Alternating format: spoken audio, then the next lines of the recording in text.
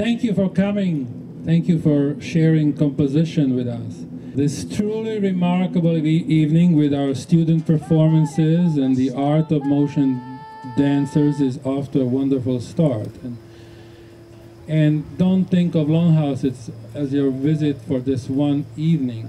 Think of it as a escape from the Route 27 or the beaches.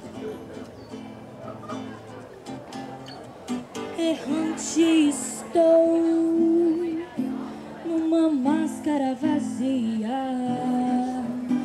entorpecido ao som do saxofone,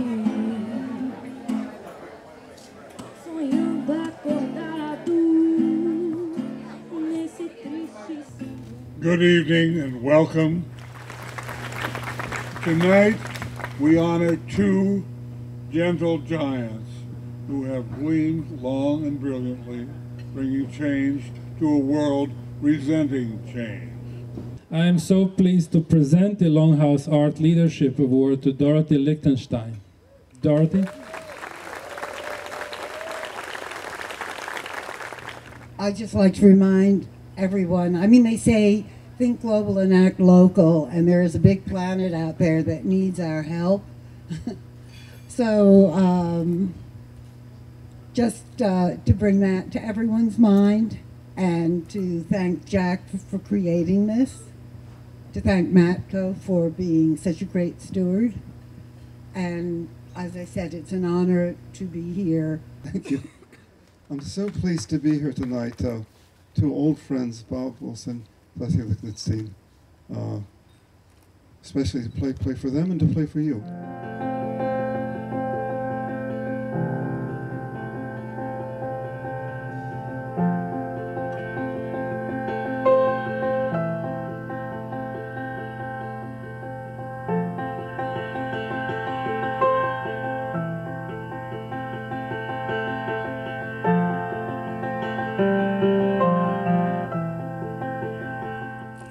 And so I am humbled and excited and very proud to recognize Robert Wilson here tonight.